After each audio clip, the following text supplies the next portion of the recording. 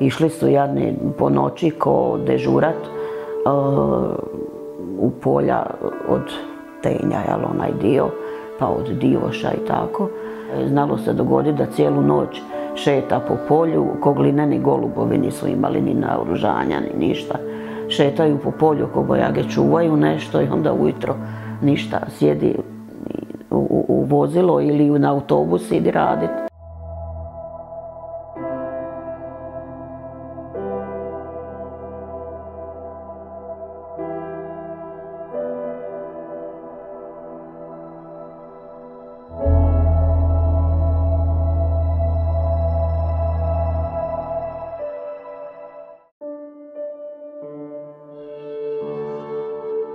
Kasnije sam od njegovih prijatelja čula kako je bilo, jel, da su došli tu sa, sa tog, gdje su bili u bunkeru na tom položaju, da su došli u samu farmu, u Orlovnjak. I ovaj, jedan dio je odlučio da će preko te, ovaj, bila jedna čistina, kažu da je bila navodno djetelina, da je bilo, vidjelo se sve, jel?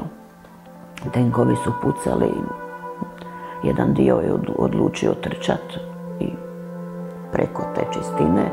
Neki su, eto, nažalost, njih petorica, šestorica tamo i ubijeni i zakopani, a neki su uspjeli doći do, do kanala i tako se vratiti u selo.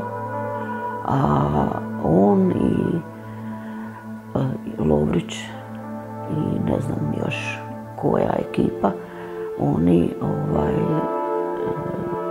su ostali sa mještanima tamo u, u samoj farmi.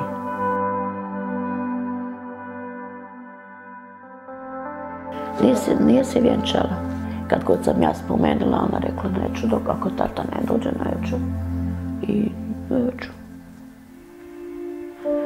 I nije vam napravila to, ili nema ko voditi na oltaru.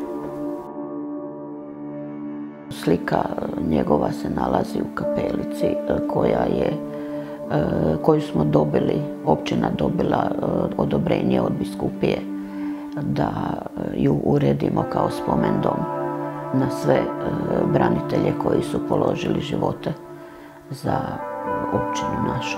Tako da su tamo na zidu svi koji su i, i ispod svake slike ime i prezime i brigada kojoj su pripadali.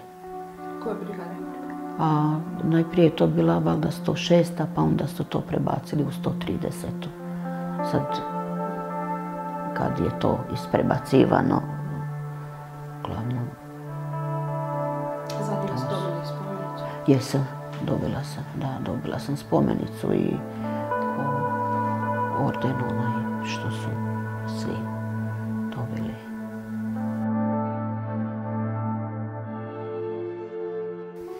Ja sam uvijek bila uvjerena da ja mogu sve napraviti. Za mene nije bilo nečega što, što ja ne mogu. Razumijete što hoću reći, sve, ono, sve poslove i sve. Ali ovo mi je došlo strašno što nisam ga mogla pronaći.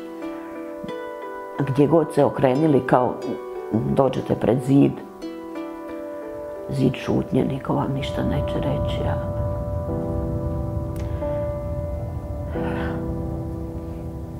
Tako da, u stvari to mi je najteže što ne možeš pronaći gotovo šta ćeš kad nema.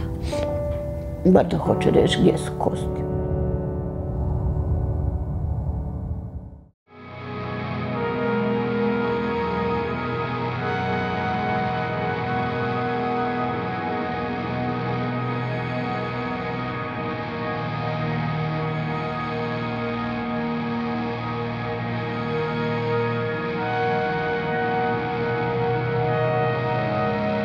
Obitelji nestalih u domovinskom ratu se već 25 godina nose sa tugom i boli.